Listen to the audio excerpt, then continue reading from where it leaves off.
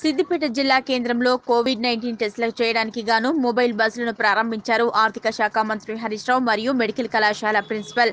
అలాగే టెస్టులకు నూతనంగా ఇంపోర్ట్ చేసుకున్న విషయం ద్వారా టెస్టులు జిల్లాలో అత్యధికంగా చేసేందుకు వచ్చిన యంత్రాన్ని కూడా ప్రారంభించారు. అలాగే దానికి సంబంధించిన కార్యాలయాన్ని సిద్దిపేట వైద్య కళాశాలలో ప్రారంభించారు. దీనికి జిల్లా కలెక్టర్ వెంకట్రామరెడ్డితో పాటు ఆరోగ్య సిబ్బంది మరియు వైద్యాధికారులు శాఖ అధికారులు ఉన్నారు. ఈ రోజు నుంచి ప్రతి గ్రామంలోకి మొబైల్ వ్యాన్ రావడం జరుగుతుందని టెస్టులు తీసుకోవడం జరుగుతుందని ర్యాపిడ్ టెస్టులను చేయించవచ్చని అలాగే వేరే రకమైన కేసులను కూడా చేయడానికి వీలుగా ఉందని సిద్దిపేట ప్రజలు తొందరగా టెస్టులు చేసుకుని కరోనా టెస్టులను వెనువెంటనే చేసుకున్నట్లయితే పాజిటివ్ వచ్చిన వారికి వెంటనే హౌస్ ఐసోలేషన్ ద్వారా లేదా ఆసుపత్రికి వెళ్ళే విధంగా అన్ని రకాల చర్యలు తీసుకుంటున్నట్లు మంత్రి హరీష్ రావు ఆరోగ్య శాఖ అధికారులు తెలిపారు. అందువల్ల నేను మా కౌన్సిలర్స్ అందరితో కూడా నేను కోరేది మీ ఆర్పి మీ ఆశ మీ అంగన్వాడీని తీసుకొని వార్డుకు ప్రతిరోజు కూడా ఒక యాభై ఇండ్లు వంద ఇండ్లు మీరు డోర్ టు డోర్ పోయి వాళ్ళ హెల్త్ ఎట్లా ఉంది? చెకప్ చేయండి. ఇంట్లో ఎవరికైనా జ్వరాలు ఉన్నాయా? దగ్గు ఉందా? తుమ్ములు వస్తున్నాయా? ఏదైనా డిఫరెంట్ హెల్త్ కండిషన్ ఉంటే ఎస్ రండమ్మా మీకు రేపు పొద్దున్నే టెస్ట్ చేస్తామని చెప్పి ఇటు మన అర్బన్ హెల్త్ సెంటర్కు నాసర్పురా కానీ అంబేద్కర్ నగర్ కానీ తీసుకుపోయి టెస్ట్ చేయించండి ఎన్ని టెస్టులు చేయడానికైనా ఇబ్బంది లేదు. ఇవాళ ప్రభుత్వము గౌరవ ముఖ్యమంత్రి గారు ఈరోజు రాష్ట్రంలో లక్షలాది ర్యాపిడ్ టెస్ట్ కిట్లు తెప్పించి పెట్టినాం. హోమ్ ఐసోలేషన్ కిట్లు తెప్పించి పెట్టినాం. మాస్కులు తెప్పించాం. జిల్లాల్లో కూడా ఆసుపత్రులు పెట్టినాం. ఏ రకమైన ఇబ్బంది లేదు. ప్రభుత్వం ఎంత డబ్బైనా ఖర్చు పెట్టి ప్రజల్ని కాపాడుకునే విషయంలో ముఖ్యమంత్రి గారు ఫ్రీ హ్యాండ్ ఇచ్చింది ఏం భయపడాల్సిన అవసరం లేదు. అయితే మనము చేయాల్సిందల్లా వ్యాధి రాకుండా చూసుకోవడం తప్పనిసరి పరిస్థితుల్లో వస్తే భయపడకుండా ప్రాథమిక దశలో డాక్టర్ దగ్గరికి వెళ్తే మీకు మందులు ఇచ్చి మిమ్మల్ని కాపాడుకుంటాం. తప్పకుండా మీరు రోజు యాభై నుంచి డెబ్బై కుటుంబాలను మీరు టచ్ చేయాలి. యా మా కమిషనర్తో రిక్వెస్ట్ మీరు మానిటర్ చేయండి. వాళ్ళకు ఒక ప్రోగ్రామ్ ఇవ్వండి కమిషనర్ గారితో ఏమంటున్నారంటే ASHA RP councillor anganwadi teacher. Minimum ఒక యాభై నుంచి అరవై కుటుంబాలు వీళ్ళు ఫోన్ ద్వారా పోయినా సరే. యాభై కుటుంబాలకు ఫోన్ చేసి మాట్లాడి ఎవరికైనా ఇబ్బంది ఉంటే పొద్దున్నే రండమ్మా మీకు మేము పరీక్ష చేస్తాం. అట్లా మినిమం ఒక యాభై కుటుంబాలను ఫోన్ ద్వారా కానీ ఫిజికల్గా కానీ టచ్ చేయగలిగితే బాగుంటుంది. కానీ రెమెడీస్ వేర్ లాంటి ఇంజక్షన్లు కూడా మన జిల్లాలో తెప్పించి స్టాక్ పెట్టినాం. దాదాపు ఇరవై ఆరు వేల రూపాయల విలువ ఉంటుంది.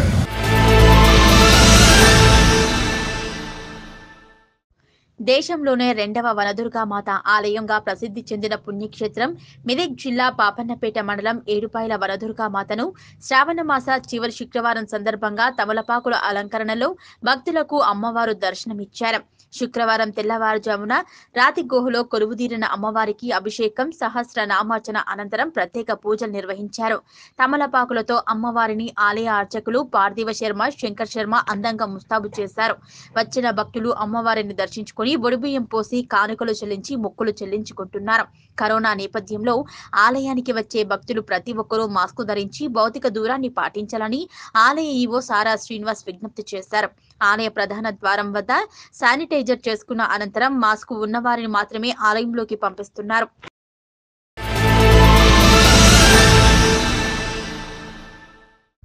రామహింపేట పోలీస్ సర్కిల్ కార్యాలయంలో Brightway communication MD Subhash Reddy సహకారంతో ఏర్పాటు చేసిన శానిటైజర్ స్టాండ్లను సిఐ నాగార్జునగౌడ్కు స్థానిక ప్రజాప్రతినిధి రాజర్ల నరేందర్ చేతుల మీదుగా ఉచితంగా అందజేశారు. Brightway communication MD Subhash Reddy ఆర్థిక సహాయంతో ఏర్పాటు చేసిన శానిటైజర్ స్టాండ్లను సర్కిల్ పరిధిలోని పోలీస్ స్టేషన్లో ఉచితంగా అందించడం జరిగింది. అనంతరం సిఐ నాగార్జున గౌడ్ మాట్లాడుతూ కరోనా వైరస్ విస్తరిస్తున్న సమయంలో Brightway communication MD Subhash Reddy తన సొంత డబ్బులతో ఏర్పాటు చేసిన శానిటైజర్ స్టాండ్లను రామేపేట సర్కిల్ పరిధిలోని పోలీస్ స్టేషన్లో ఉచితంగా అందించారు. ఈ శానిటైజర్ స్టాండ్లు పోలీస్ స్టేషన్లోకి వచ్చిపోయే వారికి ఎంతగానో ఉపయోగపడుతుందని ప్రస్తుత సమయంలో ప్రతి వ్యక్తి శానిటైజర్ వాడాలని ఈ విషయాన్ని దృష్టిలో పెట్టుకొని ప్రజలకు అవగాహన కల్పించే విధంగా ఏర్పాటు చేసి పోలీస్ స్టేషన్లో ఉచితంగా అందించడం జరిగింది. ఇలాంటి సమయాల్లో శానిటైజర్ స్టాండ్లను సుభాష్ రెడ్డి ఉచితంగా అందించినందుకు వారికి ప్రత్యేక కృతజ్ఞతలు తెలిపారు. ఈ కార్యక్రమంలో సిఐ నాగార్జున గౌడ్తో పాటు Chinnashankarampet SI Gous ASI Shankar police సిబ్బంది పాల్గొన్నారు. మరియు ప్రస్తుతం ఈ కరోనాకు సంబంధించి కేర్ తీసుకోవాల్సిన భాగంగా శానిటైజర్ ప్రస్తుతం ప్రజెంట్ అందరూ వాడుతున్నారు. కాకపోతే అందరూ ముట్టకుండా దానికి స్టాండ్స్ను కూడా ఉన్నాయి కాబట్టి అటు స్టాండ్స్ను బ్రైట్ వే కమ్యూనికేషన్ ఎండి అయినటువంటి సుభాష్ రెడ్డి గారు వారి యొక్క సొంత ఖర్చులతోటి ప్రతి పోలీస్ స్టేషన్ కూడా ఇవ్వడం అనేది అభినందించదగ్గ విషయం. వారికి మా పోలీస్ శాఖ తరఫున కూడా ప్రత్యేకంగా ధన్యవాదాలు తెలుపుతా ఉన్నాను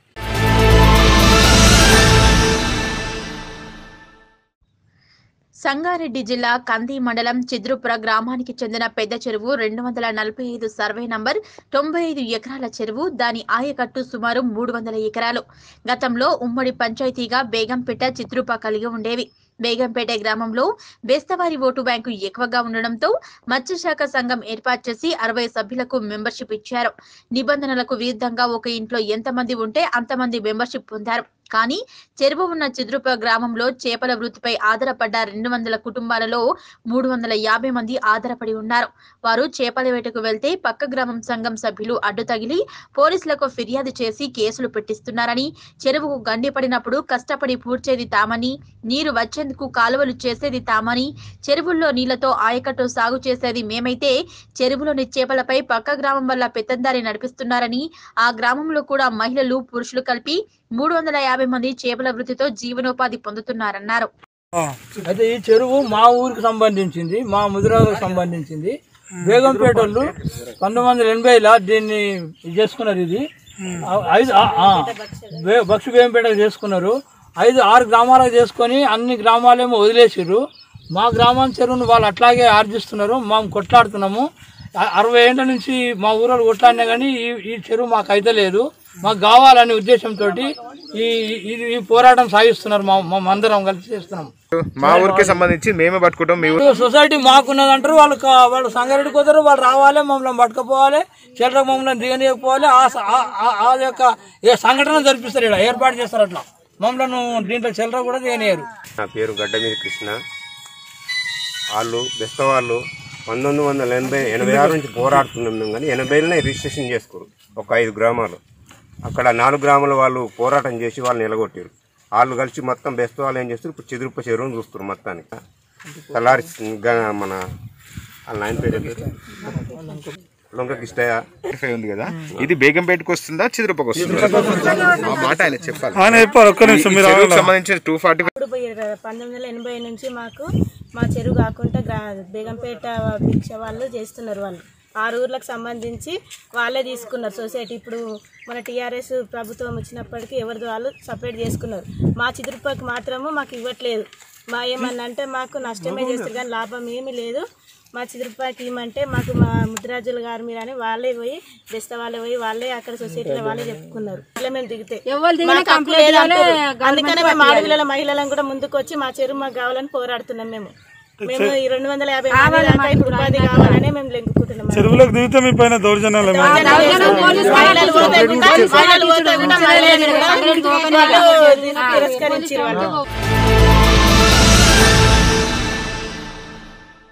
చిన్నశంకరంపేట మండల కేంద్రంలోని తహసీల్దార్ కార్యాలయంలో ఏర్పాటు చేసిన మీడియా సమావేశంలో చిన్నశంకరంపేట తహసీల్దార్ రాజేశ్వరరావు మాట్లాడుతూ రేపు జరిగే స్వతంత్ర దినోత్సవ వేడుకలలో భాగంగా ప్రతి ఒక్కరూ కరోనా నిబంధనలు పాటించాలని ప్రతి ప్రభుత్వ కార్యాలయాల వద్ద జాతీయ జెండా ఎగురవేయాలని ఆయన తెలిపారు. జాతీయ జెండా కార్యక్రమాల వద్ద గుంపులు గుంపులుగా ఉండకూడదని సామాజిక దూరం పాటిస్తూ జెండా ఆవిష్కరణ చేయాలని ఆయన సూచించారు. ప్రభుత్వ కార్యాలయాల వద్ద జెండా ఎగురవేసే సమయంలో కరోనా నిబంధనలు పాటించాలని ఎవరు కూడా కరోనా నిబంధనలు ఉల్లంఘించకూడదని తహసీల్దార్ రాజేశ్వరరావు తెలిపారు. శంకరంపేట మండల ప్రజలకు మరియు స్థానిక నాయకులకు స్థానిక అధికారులకు అందరికీ నా యొక్క నమస్కారాలు. రేపు మరలా పదిహేను ఆగస్టు రెండు వేల ఇరవై రోజు నాడు స్వాతంత్ర దినోత్సవ సందర్భంగా అన్ని కార్యాలయాలు మరి అన్ని పాఠశాలయాలు మరి ఇతరత్ర ఏరియాల్లో కూడా మన జాతీయ పండుగను గౌరవార్థము జాతీయ పతావిష్కరణ చేసుకుంటారు కోరమైంది. ఇప్పుడు కరోనా ఉన్న కారణంగా మునుపట్లాగా కాకుండా ఎలాంటి ర్యాలీలు కానీ ఇతరత్ర కార్యక్రమాలు చేయకుండా ఎవరి కార్యాలయం వద్ద వాళ్ళే సోషల్ డిస్టెన్స్ పాటించి కరోనా యొక్క నిబంధనలకు ఉల్లంఘన కాకుండా పాటిస్తూ స్వాతంత్ర దినోత్సవాలు ఘనంగా జరుపుకోవాల్సిన కోరుచున్నాను.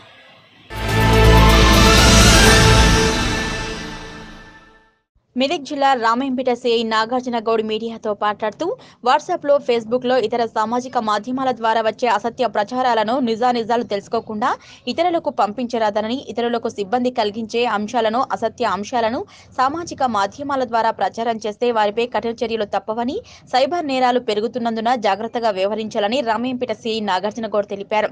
త్వరలో వినాయక చవితి వస్తున్నందున అందరూ తమ తమ ఇళ్ళలో మట్టి వినాయకును తెచ్చుకొని పూజించాలని తద్వారా పర్యావరణాన్ని పరీక్షించాలన్నారు అలాగే పది మంది కూడి వీధుల్లో వినాయకులను ఏర్పాటు చేయడం వల్ల ఇబ్బందులు తలెత్తుతాయన్నారు. అసలే కరోనా వ్యాధి విజృంభిస్తోంది కావున పది మంది ఒకే చెట గుమిగూడితే కరోనా వ్యాధి ప్రబలే అవకాశం ఉంటుందని అందువల్ల ఎవరి ఇళ్ళలో వారే మట్టి వినాయకులను తెచ్చుకొని పూజలు చేస్తే మంచిదని ఆయన అభిప్రాయం వ్యక్తం చేశారు. అందరూ కూడా ఫోన్లు వాడుతూ ఉన్నారు. ప్రతి ఫోన్ ద్వారా కూడా టెక్నాలజీని ఉపయోగించుకొని వాట్సాప్ ఫేస్బుక్ ట్విట్టర్ మరియు ఇతరత్ర వాటి ద్వారా మెసేజ్లను పంపుతూ ఉన్నారు. మనము ఎప్పుడైనా సరే ఒక మెసేజ్ పంపేటప్పుడు ఆ మెసేజ్ మనం పంపేది ఎంతవరకు కరెక్ట్ అది నిజమా అబద్ధం అనేది ఏదో వేరే రూపంలో వచ్చింది కదా అని చెప్పేసి నేను ఫార్వర్డ్ చేస్తాను. కాకుండా ప్రతి విషయాన్ని కూడా అది దానివల్ల ఎవరికైనా నష్టం కలుగుతుందా ఇబ్బంది కలుగుతుందా అనేది ఒకసారి గ్రహించి అది నిజమైతే పెట్టడం మంచిది. లేదనుకుంటే పెట్టకపోవడం ఉత్తమం కాబట్టి దయచేసి ఎవరు కూడా తెలియకుండా ఏదైనా గ్రూప్ల ద్వారా వచ్చే మెసేజ్ ఫార్వర్డ్ చేయొద్దని చెప్పేసి మరొకసారి చెప్తా ఉన్నాము. ఒకవేళ ఏదైనా ఒకరికి ఇబ్బంది కలిగించేది ఒకరికి నష్టం కలిగించే విధంగా ఉన్నటువంటి వాటిని సోషల్ మీడియా ద్వారా సామాజిక మాధ్యమాల ద్వారా ఇతర గ్రూపులకు చేరవేసినట్లయితే ప్రతి వారిపైన కూడా చట్టరీత్యా చర్యలు తీసుకునబడతాయి